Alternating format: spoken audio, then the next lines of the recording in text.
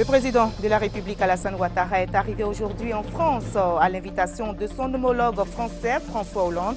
Le chef de l'État va prendre part au sommet sur la paix et la sécurité en Afrique.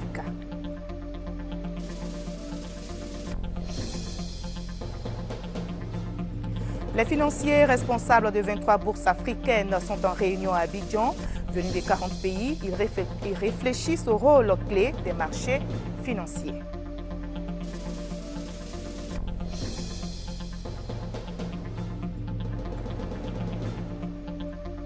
Hors de la Côte d'Ivoire, en Thaïlande, des milliers de manifestants anti-gouvernementaux ont été autorisés aujourd'hui par la police à franchir le siège du gouvernement. Bonsoir à tous, bienvenue dans le 20h. Le président de la République, Alassane Ouattara, est en France. C'est ce matin qu'il a quitté Abidjan pour Paris, où il va prendre part au sommet sur la paix et la sécurité en Afrique les 6 et 7 décembre prochains le chef de l'État a été invité par son homologue français François Hollande. À son arrivée cet après-midi en France, le président Alassane Ouattara a été accueilli par la première dame de Côte d'Ivoire, Madame Dominique Ouattara, et l'ambassadeur de France en Côte d'Ivoire. En marge de ce sommet sur la paix et la sécurité en Afrique, le président ivoirien participera à la cérémonie de clôture de la conférence économique de Bercy qui porte sur le thème Afrique-France pour un modèle économique. Et ajouter en bref que le chef de l'État sera de retour le 7 décembre prochain en Côte d'Ivoire et il prendra part à Yamsokro aux cérémonies commémoratives du 20e anniversaire du décès du premier président de la République de Côte d'Ivoire, Félix Houphouët-Boigny. Et avant de s'envoler pour la France, le président de la République a reçu en audience hier un groupe minier explorant le nickel et le cuivre dans la région de Biancouman. Les échanges ont porté notamment sur les activités de ce groupe minier en Côte d'Ivoire. On en sait plus avec Jérôme Kofi un groupe minier chez le président de la République, Alassane Ouattara. Il s'agit du groupe chargé de l'exploration du nickel et du cuivre dans la région de Biancouma, qui a été reçu ce lundi 2 décembre 2013 par le président de la République au palais présidentiel. Ce groupe, en partenariat avec la SODEMI, est venu échanger avec le chef de l'État sur ses activités menées dans cette région de la Côte d'Ivoire. On travaille dans l'ouest de la Côte d'Ivoire, dans la région de Biancouma-Sipilou, et on travaille sur des projets d'exploration dans les métaux de base. Alors, ce qu'on appelle les métaux de base ici, c'est le nickel, cuivre, et les euh, platinoïdes, donc euh, le palladium. Et depuis trois ans, on travaille dans le secteur à la définition de, de nouvelles ressources, de nouveaux gisements dans le secteur et on est très content euh, parce que nos travaux ont réussi à identifier de nouveaux secteurs, de nouvelles zones qui étaient totalement inconnues avant. Et avec les travaux qu'on va faire dans les prochaines années, on espère pouvoir avoir la, masse critique nécessaire euh, en tonnage et en teneur pour pouvoir euh, partir des opérations avec notre partenaire, la Soudémie, et avec le gouvernement ivoirien. Au cours de cette rencontre, une présentation filmée a été faite sur le potentiel minier dans l'Ouest ivoirien. Séance qui a enregistré la présence de quelques membres du gouvernement, notamment le Premier ministre Daniel Kablan-Duncan, aux côtés du chef de l'État, le président Alassane Ouattara. On reste au palais présidentiel où le chef de l'État s'est aussi entretenu dans la journée d'hier avec le secrétaire exécutif du Conseil de l'Entente. Patrice Kwame est venu faire le point des préparatifs euh, du sommet des chefs d'État du Conseil de l'Entente qui va se tenir euh, le 17 décembre prochain à Niamey, au Niger. À l'heure du jour de ce sommet, la redynamisation du Conseil de l'Entente et c'est un reportage d'Awatouri. Le sommet des chefs d'État du Conseil de l'Entente va se tenir le 17 décembre à Niamey, au Niger. Le secrétaire exécutif de cette organisation sous-régionale est venu faire au chef de l'État le point des préparatifs de cette rencontre au sommet. Les chefs d'État ont décidé de réhabiliter le Conseil de l'Entente depuis décembre 2011. Nous avons consacré l'année 2012 et l'année 2013 à ce travail de réhabilitation et les choses progressent. C'est justement de ça que les chefs d'État vont parler le 17 décembre prochain à Niamey. Le Conseil de l'entente qui regroupe le Bénin, le Burkina Faso, la Côte d'Ivoire, le Niger et le Togo est dans une phase de renaissance après une longue période de léthargie. Une délégation composée de 50 hommes d'affaires japonais était hier à la présidence de la République et ces hommes d'affaires qui ont échangé avec le chef de l'État Alassane Ouattara sont en mission de prospection économique en Côte d'Ivoire, nous explique Awatouri. La mission conjointe de haut niveau, secteur public et privé, est une initiative du Premier ministre du Japon, Shizo Abe. Il s'agit pour ces chefs d'entreprise de venir s'imprégner de l'environnement des affaires dans le cadre de la promotion des investissements et du commerce entre la Côte d'Ivoire et le Japon. La Côte d'Ivoire et surtout Abidjan euh, était un endroit très, très cher pour les entreprises japonaises dans le passé ils ont leur, bureau de représentants ici pour couvrir leurs activités dans cette sous-région. malheureusement, ils ont dû réduire leurs activités ou même fermer leur bureau dans la turbulence qu'a connue ce pays pendant la dernière décennie. Mais maintenant, avec votre leadership, le paix est revenu euh, dans ce pays et la croissance économique a été reprise. Euh, donc il est, il est bon temps pour les entreprises japonaises euh, de penser à la possibilité de, de redémarrer leur activité ici. Le président de la République, Alassane Ouattara, a indiqué au cours de cette rencontre que la Côte d'Ivoire est prête à offrir aux investisseurs japonais un environnement propice aux affaires. Nous avons pris des décisions euh, très fortes en ce qui concerne euh, le milieu des affaires, la gouvernance euh, juridique, mais également, également l'environnement des affaires. Au plan macroéconomique, le pays est donc très attrayant au plan de la stabilité économique et de la stabilité financière, en plus de la stabilité politique. Donc je me réjouis de cette rencontre pour vous dire que euh, notre pays souhaite développer des relations encore plus étroites avec le Japon. Et j'ai vu euh, avec quelle euh, détermination le Premier ministre Abe lui-même veut également développer les relations avec le continent africain. J'ai indiqué à Monsieur l'ambassadeur que nous souhaitons que la Côte d'Ivoire soit une porte d'entrée pour le Japon. parce que non seulement à cause de euh, l'environnement que j'ai indiqué de dix pays qui nous entourent, avec qui nous sommes en étroite coopération, mais également nos liens très, très, très étroits avec le Ghana, qui est notre voisin, qui a à peu près la même taille que la Côte d'Ivoire, et surtout le Nigeria. Donc, en vous intéressant à la Côte d'Ivoire, vous vous intéressez en réalité à toute l'Afrique de l'Ouest, qui fait plus de 300 millions d'habitants, et c'est un marché formidable avec des pays euh, dans l'ensemble qui ont un taux de croissance moyen de 7%. Forte de 50 hommes d'affaires, cette délégation de haut niveau est conduite par euh, Akira Kuno, directeur général adjoint Moyen-Orient Afrique du ministère des Affaires étrangères pour le secteur public, et le vice-président de Mitsubishi, Sachio Kaneki, pour le secteur privé. La présence en Côte d'Ivoire de ces hommes d'affaires japonais va renforcer la coopération, bien sûr, entre euh, les deux pays. Et la délégation a pu s'imprégner des opportunités d'investissement en Côte d'Ivoire, nous explique Mamadou Kwasi. Six mois après la participation du chef de l'État, Alassane Ouattara, à la cinquième TICAD, Tokyo International Conference on African Development, Abidjan accueille une quarantaine d'investisseurs du secteur public et privé japonais. Ces opérateurs économiques de firmes multinationales japonaises sont issus des secteurs de l'automobile, des TIC, de l'énergie, du bâtiment, des travaux publics et de l'agriculture. Tous ont à cœur d'investir en Côte d'Ivoire, futur dragon de l'économie africaine. La Côte d'Ivoire, euh, elle, a, elle a ouvert euh, à travers l'école d'investissement attractif des avantages attractifs. Elle a travaillé et travaille, continue de travailler sur l'environnement des affaires pour rassurer l'investisseur.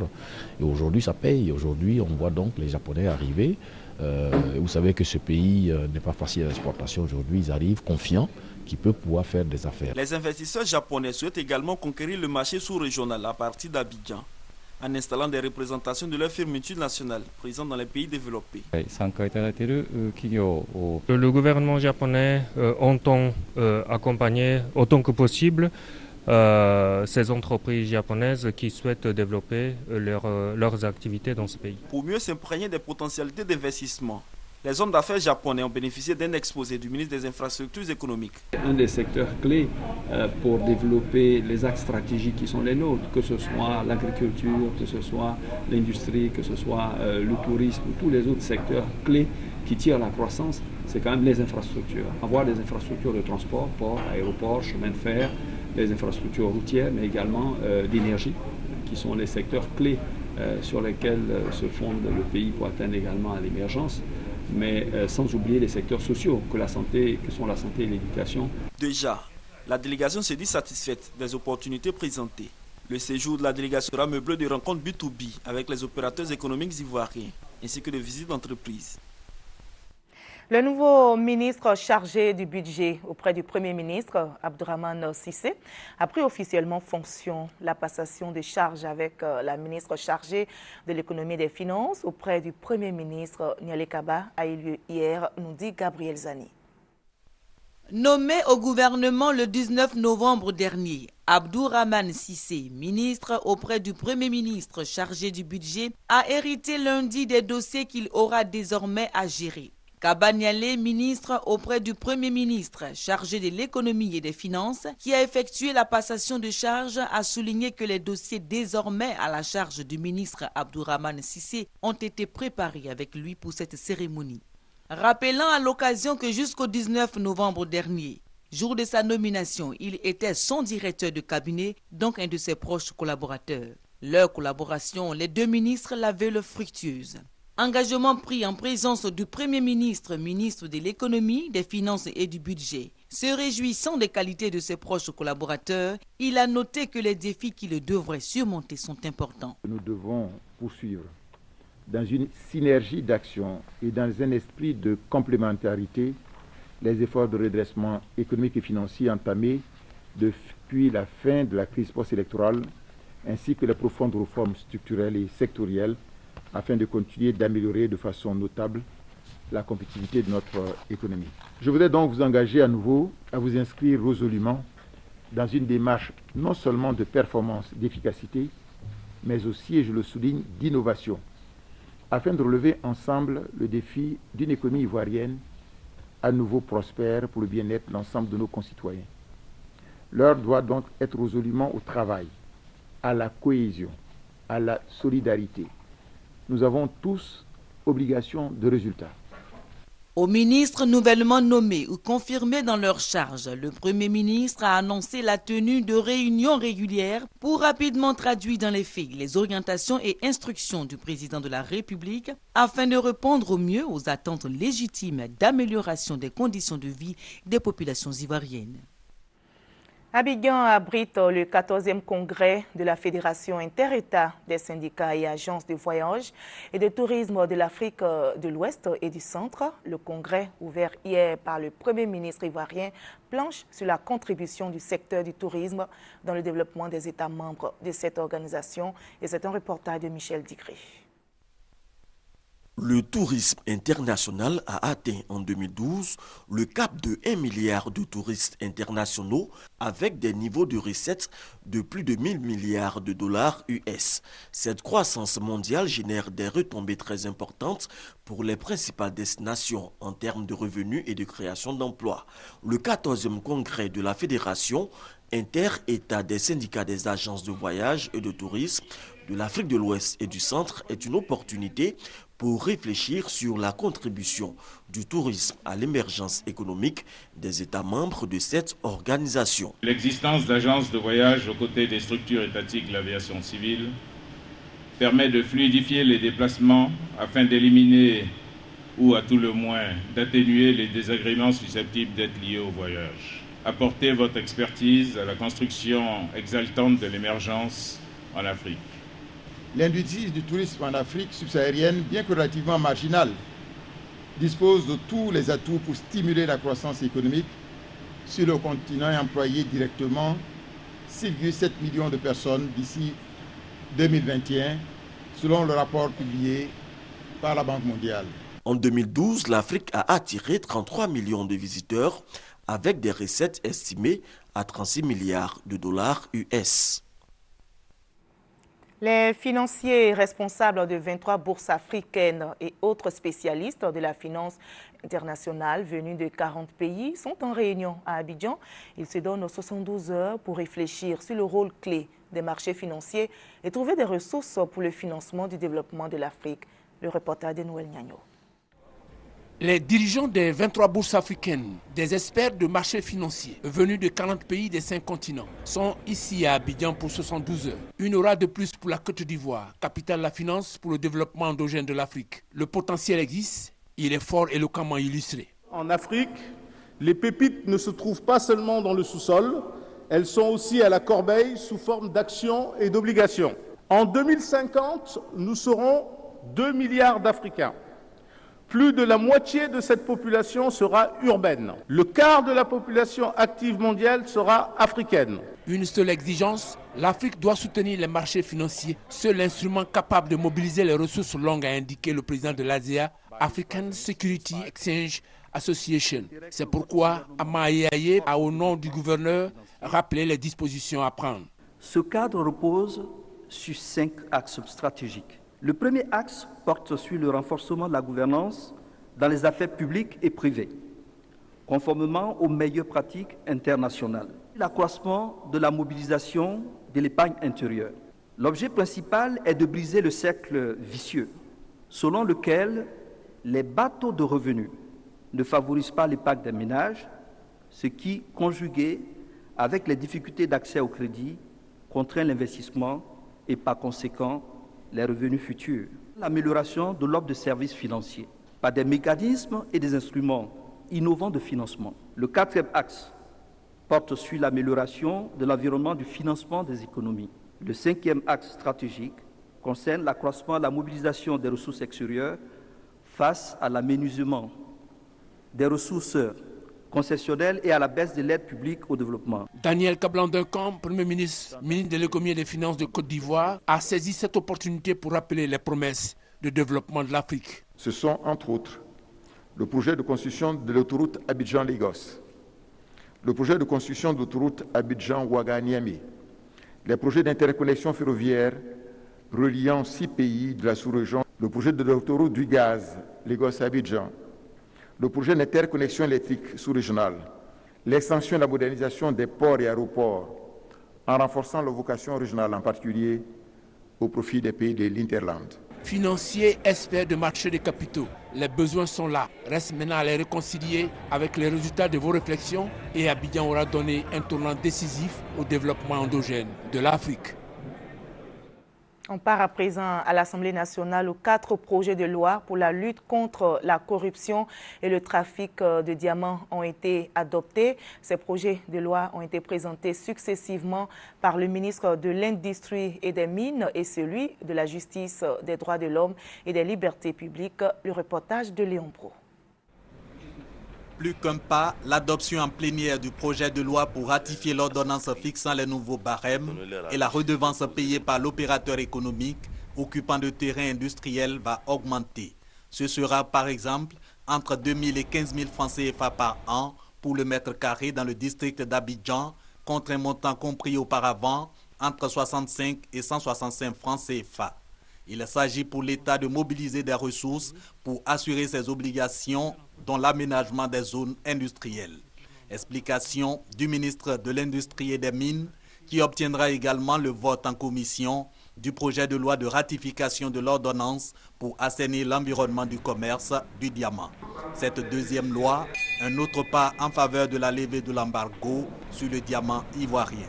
C'est l'ordonnance qui a vraiment permis à la dernière réunion de la plénière de Kimberley en Afrique du Sud, justement de dire que la Côte d'Ivoire a atteint la conformité donc, euh, avec ce processus. Et donc maintenant, euh, devrait permettre au Conseil de sécurité des Nations Unies d'examiner favorablement la levée de l'embargo sur le diamant de la Côte d'Ivoire. Donc c'est vraiment un pas très important. Les deux autres projets de ratification d'ordonnance adoptés ce même jour sont défendus par le ministre en charge de la Justice. Ils organisent la promotion de la bonne gouvernance, donc la lutte contre la corruption. Quand on vous siffle, à défaut de payer l'amende prévue, vous allez vous soumettre à une action de corruption. Ce sont ces petites choses-là qui finissent par devenir grandes et que nous devons tous combattre. C'est un engagement euh, qu'il faut que chacun de nous prenne parce qu'une société corrompue est une société fragile et notre pays n'en a pas besoin pour son émergence.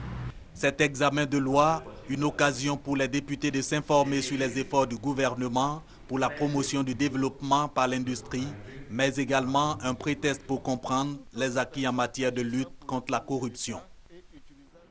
Ce mardi 3 décembre est célébrée la Journée internationale des personnes handicapées. Pour l'édition 2013, l'attention est portée sur le thème Briser les barrières, ouvrir les portes pour une société inclusive pour tous. En Côte d'Ivoire, les personnes handicapées font un plaidoyer pour une meilleure intégration socio-professionnelle. Les explications de Laetitia Mangli. Dans ce salon de coiffure à Cocody, Claude et Dombia s'attellent à refaire une beauté à leurs clients. Ils sont pourtant malentendants, mais ce handicap n'est pas du tout un frein à leur épanouissement socio-professionnel. C'est des personnes à ne pas négliger. Voilà, vu leur talent d'artiste, ils sont, ils sont comme toute autre personne. Hein. Voilà, il faut leur faire confiance et je crois qu'ils ont une place aussi dans la société.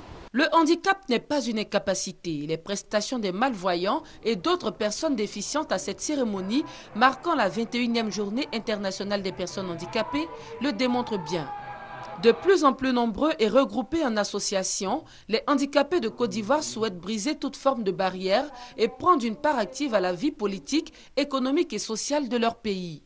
Les attentes d'aujourd'hui, ce sont les mêmes, ce sont les attentes de tous les autres citoyens, à savoir être pris en compte dans le processus de développement qui est mis en place et faire en sorte que la personne en situation de handicap euh, soit aussi bien intégrée que les autres membres de la communauté nationale. Conscient de la situation des handicapés, le gouvernement ivoirien a entrepris plusieurs actions pour la promotion de leurs droits. Il s'agit de la ratification de conventions internationales, de l'élaboration de plusieurs décrets et notamment l'adoption du document de la politique nationale en faveur des personnes handicapées au-delà de la volonté affichée de l'État de s'inscrire dans la vision globale des Nations Unies en matière de promotion des personnes en situation de handicap, l'action concertée avec l'ensemble des partenaires techniques et financiers et les organisations de la société civile devrait permettre d'atteindre des résultats tangibles. Briser les barrières, ouvrir les portes pour une société inclusive pour tous, c'est le thème de la journée. À cette occasion, la communauté internationale est invitée à lever les obstacles qui subsistent encore à l'intégration des personnes en situation de handicap. Demain, mercredi 4 décembre, se tient l'Assemblée générale de l'UVICOSI, l'Union nationale des villes et communes de Côte d'Ivoire. Sont en liste deux candidats, le maire d'Atekoubé, Dan Poulain, et le maire de Yopougon, Kafana Kone. Le reportage est signé Hamza Diaby. Dao Pola maintient sa candidature à la présidence de l'UVICOSI, l'Union des villes et communes de Côte d'Ivoire. Malgré la décision de son parti, le PDCI, de ne pas l'y accompagner, le maire d'Atekoubé entend quand même aller au scrutin. Il est candidat indépendant. Ce n'est pas une candidature qui est adossée à un parti politique. Il faut que cela soit adossé d'abord au désir de servir nos concitoyens. Donc nous sommes candidats pour continuer de servir. Je suis un militant PDCI. Attends, je ne vais pas vous... Tout le monde le sait. Je suis d'abord un militant convaincu. Dans Opola sera donc face à Gilbert Konekafana, maire de Yopougon, qui lui bénéficie du soutien et de son parti, le RDR, et du PDCI. Je voudrais dire mes remerciements au président du PDCI, euh, président du RHDP, pour euh, cette action qui montre encore une fois la solidarité et la solidité des relations au sein du RHTP. C'est un sentiment de, reconnaissance que je voudrais exprimer donc à son égard. je suis donc euh, décidé, avec l'équipe que je vais pouvoir proposer, une équipe qui sera composée d'hommes et de femmes euh, solidaires, animés par le même sentiment, celui euh, d'améliorer les, conditions de travail des maires et surtout euh, de faire avancer donc, la communalisation dans notre pays. Donc, euh, ça sera une, une action forte de, de redynamisation. Gilbert Konekafana part donc favori si l'on tient compte des 88 maires RDR et des 49 élus du PDCI. L'élection, c'est demain 4 décembre et les résultats du scrutin situeront l'opinion. À demain donc. Le RDA vient de procéder à sa rentrée politique dans le département de Tiasalé, une réunion qui a permis euh, de présenter le maire et le nouveau conseil municipal élu le 21 avril dernier. Tiasalé, département situé au nord de la capitale économique Abidjan, dans la région de Lagnébi, fait désormais partie des bastions du RDR. Le 21 avril dernier, la population portait à la tête de cette commune Sila Sualio et son conseil municipal. Ceux-ci, reconnaissants, profitent de cette rentrée politique pour réaffirmer tous les engagements pris lors des élections, instaurant ainsi des relations dynamiques entre la mairie et l'ensemble de la population. Le secrétaire général par intérim du RDR, Amadou Soumaoro, parrain de cette cérémonie, après avoir salué la victoire de son parti, mesure l'importance de ce choix. Avec l'ensemble de vos collaborateurs, encadrer ce jeune maire, tirer de lui ce qu'il a de meilleur. Je voudrais appeler nos parents de Tiasalé, les jeunes, au travail. Le président le disait à Boaké que je tiendrai mon engagement de créer le 1 million d'emplois que j'ai promis aux jeunes, que je respecterai cet engagement avant la fin de mon amara. Donner l'occasion à Alassane Ouattara de faire de cette Côte d'Ivoire un pays émergent. La rentrée politique du RDR dans le département de Tiasalé a rassemblé plusieurs personnalités. Elles ont toutes exprimé leur joie et leur soutien au nouveau conseil municipal. Elles ont aussi invité la population à aider leur conseil dans la tâche de développement qui passe par la concrétisation d'un programme à travers lequel chacun trouvera un environnement et un cadre social pour un meilleur vivre ensemble. Le vendredi dernier, des ressortissants burkinabés avaient manifesté euh, bruyamment pour euh, dénoncer le coût, selon eux, élevé de la nouvelle carte consulaire euh, biométrique. Les associations et mouvements de jeunesse burkinabés en Côte d'Ivoire ont animé un point de presse pour appeler les ressortissants burkinabés vivant en Côte d'Ivoire à privilégier la voie du dialogue pour exprimer leur mécontentement. Les mouvements et associations de jeunesse burkinabé en Côte d'Ivoire se désolidarisent de tous ceux qui comptent régler le problème de la carte d'identité consulaire biométrique par la force. Pour ces jeunes, seule la voie du dialogue reste la meilleure arme pour régler les différends. Au cours de ce point presse, il précise que les négociations avec les responsables diplomatiques se poursuivent afin d'aboutir à la réduction du prix de la carte consulaire jugée trop élevée. Le projet de la carte d'identité consulaire initié par nos autorités n'est pas un projet qui va à l'encontre de nos intérêts. C'est un projet pour identifier les Burkinabés en Côte d'Ivoire, avoir une base de données fiable. Et c'est vrai que le coût suscite vraiment beaucoup de grincements dedans. Mais nos autorités l'ont dit lors de leur intervention, le gouvernement burkinabé est ouvert au dialogue. Et le collectif des associations mouvements de jeunesse burkinabé a transmis au gouvernement burkinabé un rapport. Et un rapport à, partir de cela où le gouvernement est en train de travailler pour quand même baisser le coût de la carte d'identité consulaire pour que les Burkinabés les plus démunis puissent vraiment s'en procurer. Donc nous lançons un appel à nos frères et sœurs de rester calmes et de ne pas vraiment emprunter cette voie de, la violence. parce que le Burkina Faso, comme euh, nous le savons tous, est un pays de dialogue. 7 000 francs CFA pour une durée de 5 ans, c'est le coût de la nouvelle carte biométrique et non 10 000 francs CFA, comme l'attestent certaines personnes. Le collectif s'engage donc à mener des tournées de sensibilisation et d'explication auprès de la communauté burkinabé dans toutes les communes de la Côte d'Ivoire. Objectif amener les uns et les autres à privilégier le dialogue, mais aussi à faire en sorte d'éviter que pour déficit d'information, l'on assiste à des situations déplorables. Et c'était un reportage d'Herman Niamien. Hors de la Côte d'Ivoire, c'est peut-être un tournant euh, décisif dans la crise en Thaïlande. Des milliers de manifestants antigouvernementaux ont été autorisés par la police à s'approcher du siège du gouvernement dont ils euh, ont fait le siège depuis plusieurs jours. Les forces de l'ordre, qui jusque-là étaient retranchées derrière des barricades de béton et de fils barbelés, ont laissé les manifestants franchir les barricades afin d'éviter des heurts. Sylvie Touré. La fièvre jaune a gagné tout Bangkok. La capitale thaïlandaise a frémi sous les manifestations des chemises jaunes, proches du PAD, l'Alliance du peuple pour la démocratie, parti d'opposition.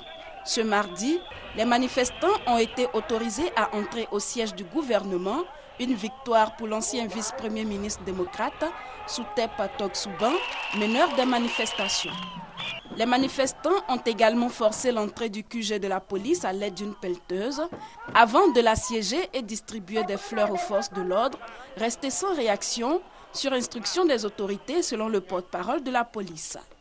Mais que veulent les chemises jaunes? Rendez-nous notre Thaïlande. La Thaïlande appartient au peuple, pas à Taksin Shinawatra. Taksin Batan.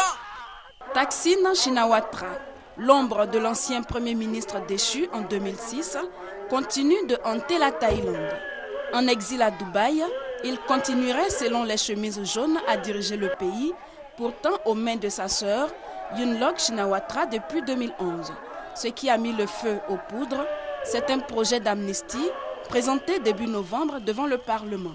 Le projet a été rejeté, mais la colère des manifestants ne s'est pas apaisée. Après plusieurs affrontements qui ont fait au moins 4 morts et plus de 200 blessés, le régime semble avoir opté pour l'apaisement à l'approche de la célébration de l'anniversaire du roi, vénéré par tous les Thaïlandais. Les chemises jaunes, dont le parti n'a pas gagné d'élection depuis 20 ans, elles entendent maintenir la pression sur le régime jusqu'à la démission du gouvernement qui de son côté bénéficie du soutien des chemises rouges, qui se sont mobilisées la semaine dernière à l'occasion des meetings. Ce duel entre d'un côté élite et classe moyenne, représenté par les chemises jaunes, et de l'autre côté population rurale et urbaine défavorisée, représentée par les chemises rouges, pour l'instant observateur, n'est pas nouveau en Thaïlande, un pays qui a déjà enregistré 18 coups d'État.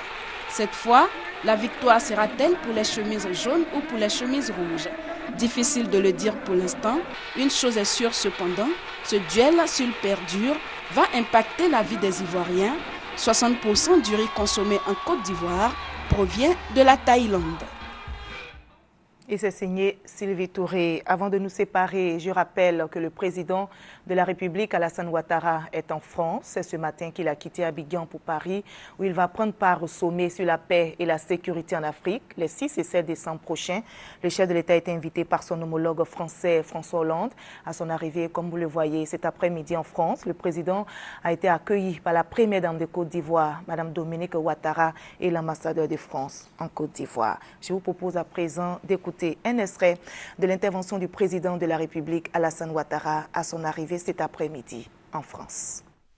Nous sommes euh, à Paris à l'invitation du président François Hollande pour participer au sommet sur la paix et la sécurité en Afrique. Et en marge de ce sommet, je participerai à un forum sur euh, les relations entre l'Afrique, la France et l'Europe. Donc c'est un séjour euh, important. J'ai tenu à venir pour marquer l'étroitesse des relations que nous avons avec la France. Mais je me trouve dans l'obligation de repartir euh, le 7 décembre, comme vous le savez, qui est le 20e anniversaire du décès de notre premier président, le président Félix Houphouët-Boigny. Donc je suis à Paris jusqu'au 6 décembre. Voilà, retrouvez ce journal sur les www.rti.ci à 23h. Un nouveau journal avec Hamza Diaby.